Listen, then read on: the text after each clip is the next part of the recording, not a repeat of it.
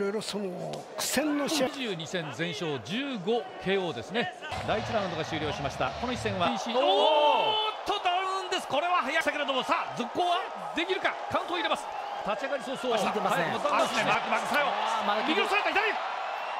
この数字通りの今立ち上がりといっても。今しっかり上側をしてるんですハが。はい。あの見ているようです。フィリピンコーナーに入りました。左を使って出てきます。まもなく第1ラウンド終了します。おセーファー。おうおうしていきます。よくパンチ打ってますよね、はい。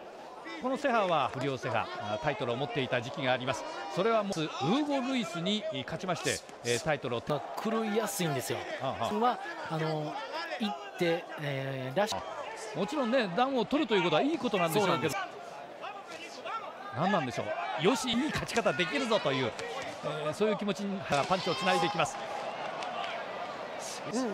やはりね2勝4敗28の KO 勝利があります。セハ32ダウンというのは記録的にも拭えない。パンチを連打されます。そうですね、まあ、1ラウンドあと吹っ切れるっていうのもあります、はい。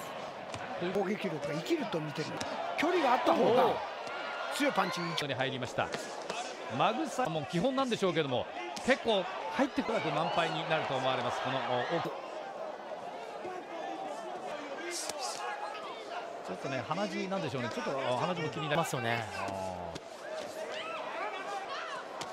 あー。あーわかります。なんとなく。あのセハの方ですけどね、はい。攻めてはいるんですけど。コーナーに入りますか。入りました。うん。またボディあーボディギタボディギタあーまたあー効いた。大きく下がりました。オッケーただねボディブロー効いたと思ったらメキシカンはねもうそこ。まあ、今また今ですよね。ました逆に左奥もら。ってしまったまた違う角度から。ジョーさんがおっしゃったようにいいですけどね。ええ、左奥がトップでやりまして展開と言ってもいいのかもしれませんまあまだまだ。あそこでやっぱりリードパンチが少ないんですよね。ね、奪いました。ただ早いのか。あったんでしょう。1年と9ヶ月間が空いてるんですが、そ関門かもしれませんね。いやーそうなんとかクリアしなければマグサ。おお。しかも噂では噂総領選挙に打って出るのかもしれないと。欲しいセハだからもう3分間全力でいけというセ相手の入ってくるところをカウンターとです、はい。に込んでいきます。あるようですね。天井かクレーンなのか。情報によるとやはりこれ2万近くうもうチケットがないという話そうです。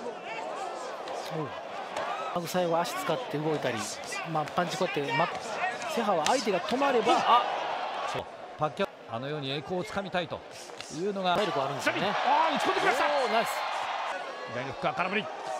おお体力あるんですよねやっぱりはい、だから強いパンチだったらこうこう意識を飛ばしているようです。西岡さんお願いします。ですね By way of knockout, he is still an eliminator and the new WB and uh, Mark Magnifico. マグサヨ